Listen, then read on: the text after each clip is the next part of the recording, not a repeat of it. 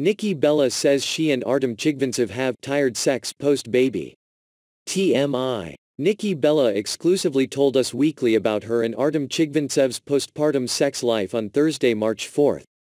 The Total Bellas star, 37, and the Dancing with the Stars pro, 38, were initially hot and heavy after their seven-month-old son Mateo's birth but now have super tired sex. When you have tired sex with each other, it's like one's leaning onto someone too much, the former professional wrestler explained while promoting her and Brie Bella's tearless haircare line for babies. And it's like, okay, wait.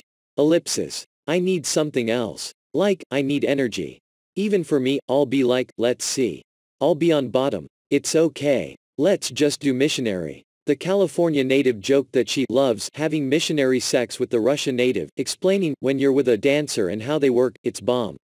The athlete previously explained how postpartum sex with the Strictly Come Dancing alum felt different. I didn't even make it to the six-week point, I just started at five, the E! personality said during a September 2020 Total Bellas podcast episode. I was like, I'm healed, I'm fine. Even though last night it didn't seem fine, but that's okay. It was a little different. I felt like organs were about to drop out. I was like, shoot, did I mess up? Her twin sister, also 37, replied at the time, Nicole, enough about all the gross stuff going on with our vaginas, especially yours.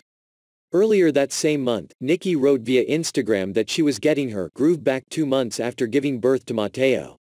Postpartum panties out the door, boobies still off limits lol, but every day feeling more like me and my daddy is getting his groove back, the new mom captioned a hidden cam Instagram video of herself dancing with the choreographer. She explained this social media upload during the podcast episode, telling Brie, I'm like, oh, my god, I totally did make it like Artem's throwing my panties out the door.